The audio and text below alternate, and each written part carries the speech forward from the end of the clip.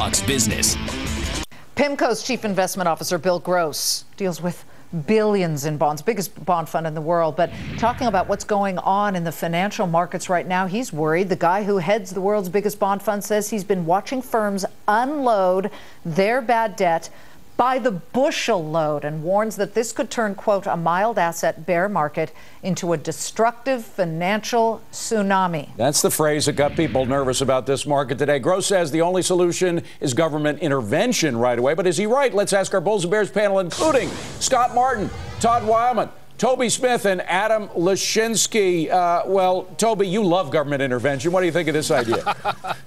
well, you know what he's saying, David, and, and there's a more than a shred of truth to it, is that the people who put the $480 billion of money in over the last six months into these financial guys had enough basically they're underwater, maybe you know 50% in some cases. So you can't go knocking on their door and saying, "Listen, would you put another 100 billion into Citibank, etc." So if they're not going to put the money in, who is going to put the money yeah. in? And the answer really is, let's meet us halfway. The private sector put in the 500 billion, and uh, some type of resolution trust take the three or 400 billion of mortgages that the you know U.S. government forced Freddie Mac's, Fannie Mae's to make anyway. If we meet halfway, we'll get to that trillion dollar mark market that we've been talking about for a long time mm. that is where we start to get to equilibrium. Adam Lashinsky, you take this one. Uh, government intervention to save people from the problems they created?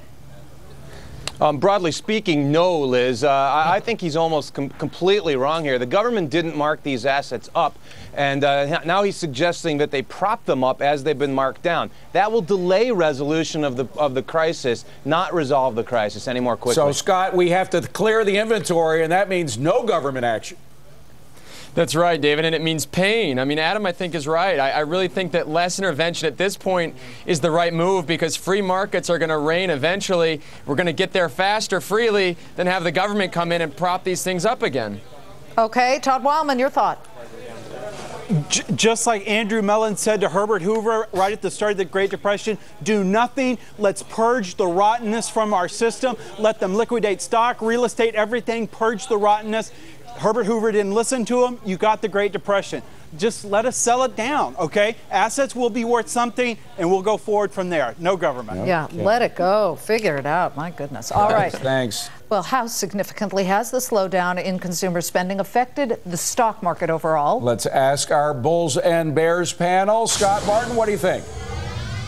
David, it has, but blaming the consumer for this just makes me kind of laugh here because I think you have to know, look no further than the financials on this one. I mean, let's thank the consumer for at least still spending money because nobody has any. I mean, we got this stimulus check, and instead of, to my recommendation, paying down debt service, people went out and spent more money. And so, you know, at least people are spending some money somewhere. And when it comes to back to school, I think it was actually Sandra that made it uh, a point back in July that we knew the back to school season was going to look bad. But hey, even the cool kids are wearing clothes from from Walmart and Costco. So that's okay that you can still go to Walmart and get your back to school stuff there. Absolutely. And, and I'm listen, I'm one who bought a ton of clothing for my daughter last year at Target. They have a ton of really cute stuff and yes, they have Hello Kitty sparkle And we know your kid's cool, Liz. yes. And we know she's cool. So there you go. And Everything is wearing from Target and Walmart. It's all right. To, I have to throw it to Adam Lashinsky, the only other one with a tiny little daughter here on this panel at the moment. Um, what do you think about that? That now parents spent on the pencils and the pens and the supplies, but not on the clothing this year. Yeah, I, I, can tell you, Liz, that mine doesn't need much, and she still gets plenty, as I'm, as I'm sure you can imagine. Plenty of new clothes, that is. Look, the, the, all of these parts of the economy obviously are connected to each other, and it's, it's almost as if we were in suspended animation for a year, waiting to find out if the other problems in the economy were going to have an effect on the consumer market. Now we see, in fact, it is having an effect on the consumer market, which in turn is absolutely having an effect on other parts of the economy and on the stock market. This isn't a pretty a pretty picture, and I don't see any way to uh, make it prettier right now. Well, Todd, we were talking to Jack Bogle earlier, of course, the founder of Vanguard. He said, you know, great buying opportunities out there when the market's hit as hard as it was today, and particularly the retailers. Is there any place to go in retail right now? Any stocks that you would look at as beaten down enough so that they're worth buying?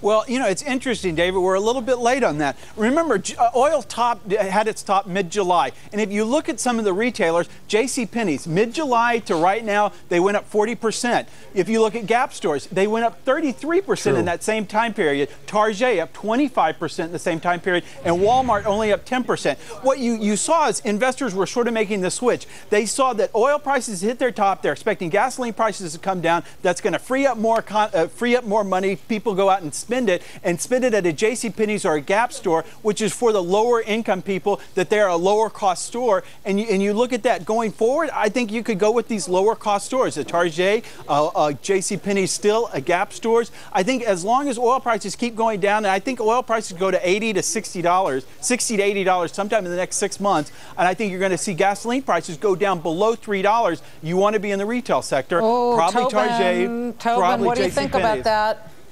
Well, you know, there's no question the trade has has been. Uh, look at first off, remember uh, the retailers were the second most were betting against these stocks. So in order for someone who's short something, who's borrowed it, they have to go back and buy it. And so let's say the first 20% of any of the retailers' move was simply the short covering part. The second leg of this move has been the idea that hey, you know, if, if I'm not going to, you know, be throwing money into the gas tank, I'm going to be doing retail. The, the problem with that is, is that we have a business cycle here, and this business cycle has sort of ground to a, a, a very slow point. Um, but to get the big, you know, the big pushback, the idea that we get this V-shaped recovery. If you were buying retail today thinking it's going to double, you'd have to be saying we're having a V-shaped recovery. Guys, we're not right. having it. Why? Because there's the financials have clamped down on so much yeah. of the spending.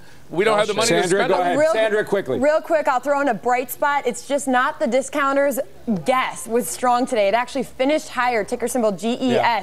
1.2% gain on the day. They came out after the bell last night. They beat expectations for their quarterly earnings, and they raised their 2009 profits. Props to a Lazard Capital uh, management analyst last week. Actually raised his rating to a buy on that. Said it's a $51 all stock. Right. Not all bad. Thanks. It's the Marciano brothers there at work there. Okay, thank you very much.